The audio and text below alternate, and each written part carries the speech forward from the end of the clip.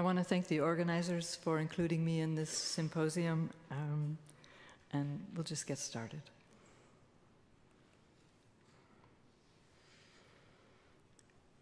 There is a certain default of mind that prefers to think of indigenous American people as mythic, never changing, pure and simple.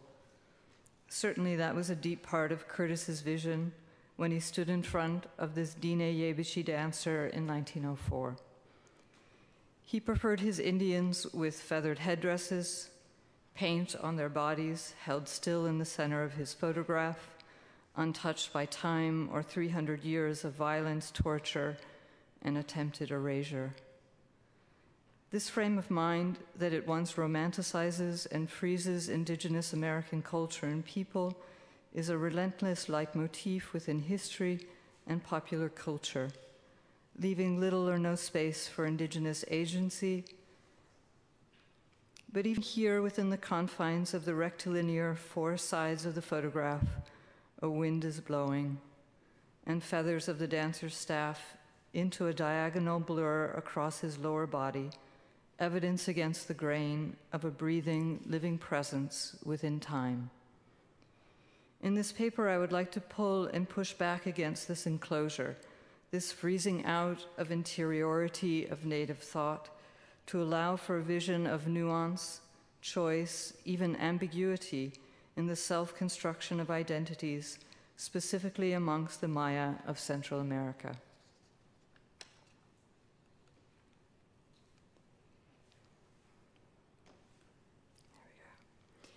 If we follow the Sierra Madres south into Mexico, we enter a region first settled by the Olmec in 1000 BC along the arc of the Gulf of Mexico. Further south, hundreds of years later, the Maya would begin to expand their cornfields to support their settled communities described and defined by their distinctive written language and artistic traditions. It was at this early stage of the development of hierarchically aligned city states, as the Maya sought to articulate their sense of themselves, that we find them collecting, altering, and reusing Olmec finely carved stones. This particular fragment of a jadeite carving that the Olmec conceived and carved represents an androgynous face with a well defined flock of hair parted in the middle over cat shaped eyes, a prominent, elegant nose above a distinctly downturned mouth. The cat like features of the eyes, and especially the downturned mouth, were one of the many ways the Olmec created images of a hybrid human feline that was used throughout the Olmec period to represent terrestrial and metaphysical power and beauty. Though the flanges are broken, the delicately rendered central face has survived both time and relocation south into the Maya heartland, where a Maya scribe carved two glyphs next to the left ear. This undeciphered Maya inscription is one of the earliest that we have, indicating that this was a possession of amongst the first Maya ruling elite known to value and collect Olmec heirlooms. Whatever is inscribed with these two glyphs, whether a name or place, they appear to be whispered into the ear of our Olmec hybrid figure, just as they point outward to the viewer as signifiers of a Maya intention that sought to draw, indeed to perform their relationship to the past, their aspirations of self realization in the present. For the Maya, the Olmec had set a standard for settled, complex cities defined by monumental architecture and refined carving that became a source of inspiration and a means, when collected or emulated, of self aggrandizement. With their jadeite carving, the Olmec succeeded in solidifying and in visualizing their ideas about beauty, animals, humans, and power. In collecting this object and incising their writing upon it, the Maya added to these layers of meaning their own mark, literally and ontologically linking themselves to previous well defined Olmec civilization to the north. As it moves through time, the object itself becomes a carrier of meaning that is reactivated and redefined with new significance from its Olmec creators to its Maya collectors. We can see this particular, particular dynamic extended even further on another Olmec quartzite carving, this time a pectoral with a human jaguar face. Two smaller additional holes were drilled at the upper side of the square head, indicating that this piece was meant to be worn most likely around the neck and below the head of its wearer. On the back of the pectoral, the Maya ruler who collected the object had a portrait of himself seated in front of two rows of Mayan glyphs carved and accentuated with red cinnabar. This inscription clearly indicates that the young ruler used the Olmec pectoral to commemorate the day of his enthronement. To mark the day, he is wearing a ruler's headdress with his body heavily jeweled. In front of his parted lips is a small circular glyph evidence of his living breath and active speech in the moment. If we take a phenomenological approach to this object, we have to imagine that the Maya ruler would have worn this pectoral on his body, with the Olmec head turned outward below his own face, conferring on this young, newly enthroned ruler an air of sophistication and power drawn from the Olmec past. The Maya inscription and self portrait would then be hidden to sight, laying flat against his chest, rising and falling with his breath, addressing his body and not his public, reassuring him that indeed he was and could and must assume the responsibilities and burdens of rulership. Further into the period of their dominance in Mesoamerica, the Maya developed a specific way of representing the body through adornments and details that obliquely continued an Olmec pattern within a fully articulated Maya aesthetic. It is on the surface of pots that the Maya most demonstratively display this aesthetic of body adorned and in motion. Here, in three different views of the same pot, we have a robust seated Lord surrounded by dancing figures with their heads bowed down and arms gesturing towards the throne. Each figure is carefully drawn and layered with multiple adornments on their bodies. The Lord, the Lord is drawn in profile,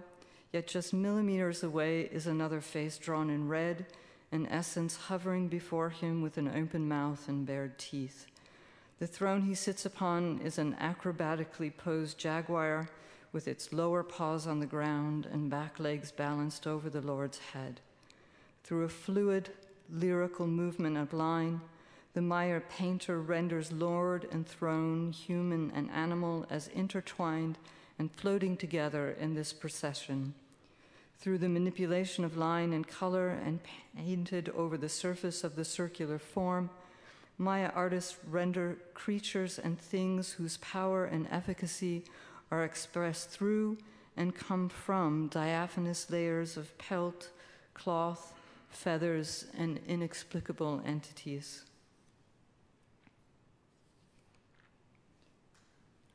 Compared to the Olmec pectoral, where human and jaguar features combine into one melded, highly abstracted form, we can see at work amongst the Maya a different kind of artistic imagination where human, animal, and other worlds float and hover beside one another like molecules of water and oil. This propensity to aggregate essences and elements through layers of representation, layers that reveal themselves like the visible face of the Lord beneath another mask like face, is a distinguishing characteristic of the art that the Maya will continue well into and beyond the onslaught of European invasion. In the highlands of Guatemala, in the first hundred years after the arrival of the Spanish, the Maya were forced into densely populated cities with cobblestone roads and churches they made to the specification of Catholic priests. Many of these colonial churches are still standing, like this one in the early morning mists in the far northern city of Nebaj. If we look closely at these churches from the outside to the inside, we can begin to see anomalous elements like the two crosses in front of the church at Todos Santos. Here, the smaller stucco cross is Christian, while the taller wooden one is Maya.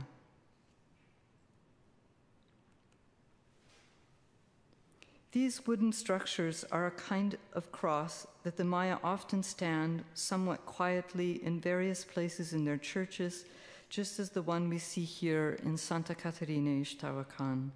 Across from the main altar beside the confessional, it stands adjacent to the open door. These Maya crosses represent an ancient and current concept of vertical horizontal axis, often represented in the form of a tree that links together the sky, the earth, and the watery underworld. From its base to the top, the Maya embedded thoughts about the growth of corn, the origins of rain, the need for sacrifice, and the essences of all things that travel and intermingle along its axis between water, the land, and the sky. At Todos Santos or Santa Catarina, these Maya crosses do not confront or negate the Christian cross or church. Instead, they stand beside them as active, ongoing elements within a newly formed, aggregated composition where Christian messianic concepts, at first imposed, are here integrated by the Maya alongside and within their deeply rooted concepts of the complexly circular and infinite nature of time and place. It is precisely this Maya concept of infinity that allows them to embrace otherness in a distinctly open and creative manner. If we focus even further on the large cross at the back of the church at Santa Catarina, we can see that they have wrapped their Maya cross in woven cloth. This is not just any cloth, but the same cloth they use for zutes, the single most versatile weaving the Maya make, used by men, women, and children to cover their heads, for carrying of things, as well as to wrap around their body. To wrap their Maya cross in their handmade zutes further demonstrates that this cross is a presence as intimate and adamant as their own bodies, ongoing through and beyond the present. In the church of Zunil, they placed two of these zutes over the head and across the shoulders of a polychromed colonial image of the Virgin Mary. This particular kind of cloth is and has been made for thousands of years by Maya women on a backstrap loom. With this kind of loom, Maya women still weave their zutes and their own shirts called huipiles, that are profoundly and noticeably differentiated through embroidery or supplemental weft brocade, where designs literally stored in the minds of weavers are directly woven into the warp. For instance, the huipil on the left was made in Ward Neba, a specific town in northern Guatemala, while the huipil on the right is finely brocaded and made by Marta Jimenez Santos in the Maya town of Magdalena, Mexico. On the wooden sculpted image of the Virgin Mary in Zunil, this woven cloth, which contains multiple elements of personal and cultural identity, becomes part of an aggregate of images, a montage of cultures in which issues of difference and domination are brought together. What or who is being created, being converted here becomes an ongoing question in the present. Imagine a Maya woman looking into the white face of Mary, who is draped in cloth that is identical to the cloth she weaves and wears on her own body. What is being made present is an active, performed encounter with history itself, here through sculpture and cloth, through appropriation and adornment, we see Maya women actively making sense of an imposed religion they have not passively accepted, but transformed into their own. Looked at beside the Olmec pectoral, where the young Maya ruler of his own will reaches back into time for the authority of the Olmec to bolster his newly acquired status, the colonial and contemporary Maya navigate a world dominated by violent intruders through a different, though related form of visual layering. In both instances, at the beginning of Maya statehood and in response to imposed colonial rule, the Maya looked to the realm of bodily adornment as a place to experiment, compose, and work through the shifting concepts of their history and our own. If we draw even closer to the present, in 1998, after and in response to the signing into law of NAFTA, the North American Trade Agreement,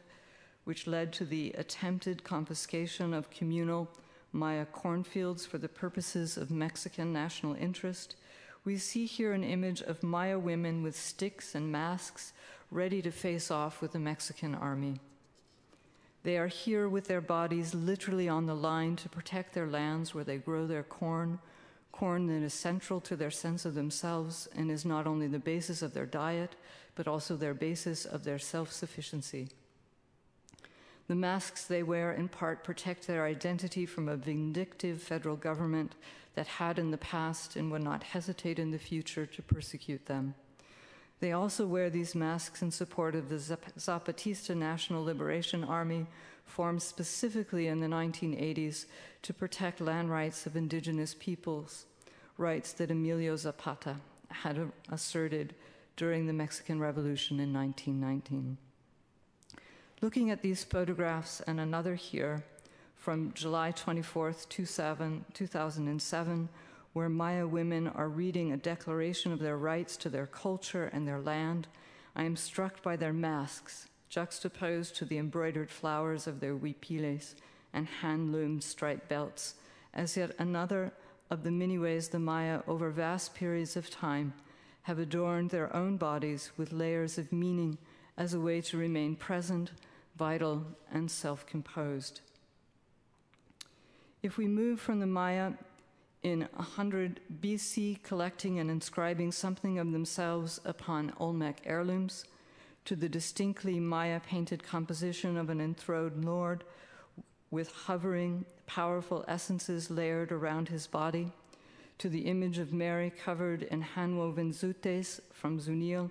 to our last image of masked women in Chiapas declaring their rights to continued self sufficiency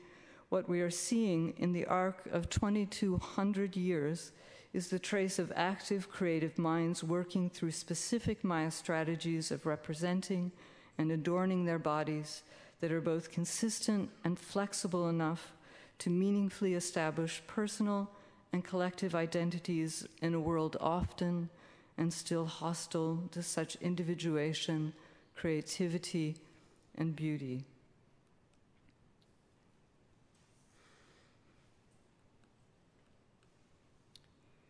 Within the exhibition, Native Fashion Now, each garment reveals the agency, thoughts, humor, philosophy of body, and adornment that inspired the artists and designers who made them. Like the massive protests at Standing Rock, North Dakota this past winter, where numerous Native tribes and their supporters came together to articulate native ideas about land, water, and human presence, something there and something here begins to thaw, a kind of unfreezing of minds that can allow for and embrace a diverse, reflective native presence within history and within these Americas. I again thank the organizers of this symposium for including me within this monumental turn, this opening to new possibilities in regards to the complexities and layers of Indigenous American creativity and agency. It is a new dawn and a new day that I am profoundly grateful to join and witness. Thank you.